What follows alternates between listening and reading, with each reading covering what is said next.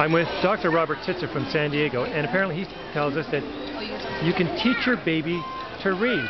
How's that? And at what, how early? Uh, well, there's a window of opportunity for learning language. The window goes from about three months through about age four, where it's easier to learn language skills. So that's when we recommend teaching the babies the written form of language. Okay. And when did you start this? I started this in 1991 with my own baby, Aleka, and I taught her to read. I taught my second daughter to read as a baby. Uh, they could both read baby books very early on in life, and there are long-term studies showing the earlier the child is taught to read, the better the child reads. Okay. So we are now doing this all over the world. Okay. What inspired you to do this?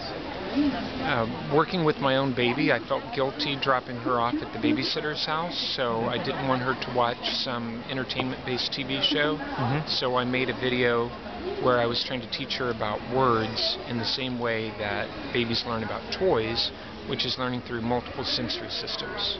Okay. What are your qualifications to embark on such a journey? Um, I have my PhD, and I worked in different infant development laboratories studying how babies learn. Worked in the infant cognitive development laboratory and the infant motor development laboratory. I also collected data in the infant social and emotional development laboratories. I have a master's focused on how adults learn, and I have um, had my own laboratory also. Okay, let's talk about the science. Um, how do you teach a child to read? You've got some, you have a book here. Okay, so That's in basic- large print. Yeah, the basic idea is you let the baby see the word and you say smiling, and then you show the baby what the word means. So Okay. typically, when a parent reads to the child, the child is focused on the pictures, not the words. I the see. average four or five year old only focus on, focuses on words about five seconds per book. In this book, the child will look at the words. We also have sliding word cards like this, where you say the word mouth and then you slide it out to show what the word means. So if you do this with a very young baby, what you see is the child will look at the word mouth, and then the child's eyes will quickly look over here at what the word means. So they look from what the word looks like to what the word means, and so in their brains they should have connections related to what the word looks like, what the word sounds like, and what the word means. Nice way of learning, yes. Yeah. Um, how early can a child learn this? What's the earliest student that you have? Uh, well, we just uh, an hour and a half ago or so, we had an 18-month-old baby who could read words that he had never seen before. We have many 18-month-old babies who can read books from the library that they've not seen before. Actually, I can vouch for that. I came to the show here and I saw you with that baby, and and, and I, the, the parent was telling me, yes, watch, this baby can read.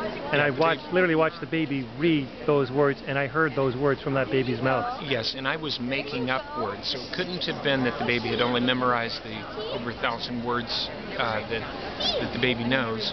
The baby also can sound out words that the child has never seen before, Hmm. and this is an 18-month-old baby, not a three-year-old, not a five-year-old. And we have many babies who can phonetically sound out the words that they've never seen before. Uh, the same thing happened yesterday. We had a baby here uh, who was sounding out words. The mom did not know that the baby uh, could read words phonetically. And the mom actually, um, I, I said, well, do you mind if I test your baby and just see how your baby's doing? So I held up a bunch of cards. The baby read every single card, and I could actually understand the baby. And then I started writing down words that the child had never seen before. I wrote down laptop and newspaper. The baby immediately identified those words. Then I made up B-O-T, and the baby said bot. And there happened to be a teacher standing nearby when this happened. And um, after the baby had read many words, the teacher said, "Oh, the baby's just memorized the words. The baby can't really read." And then, uh, you know, the baby uh, identified newspaper and laptop. And then, as soon as the child sounded out bot, then the teacher actually changed her mind to say that the baby actually was reading. So, So- how many babies are learning this now? How many like graduates are there of this? Um, we have many, many hundreds of thousands of babies all over the world who are learning to read at the same time they're learning to talk. Wow. So now, let me ask you this: Does it increase the child's IQ later on by having this early training? Um, well, we have a study that's soon to be released that will show cognitive benefits in addition to all of the language-related benefits, but Um, it's not going to be that long before the study comes out, and I'd rather not specifically Okay. give all the details because we will be announcing that study once it's Okay, released. let's get the details of your website. It's w dot. It's yourbabycanread.ca. almost. I would say every baby can read. Dot .ca, Okay. but it's oh, that's your idea. baby can read. Dot .ca. Thank you. Thank you very much.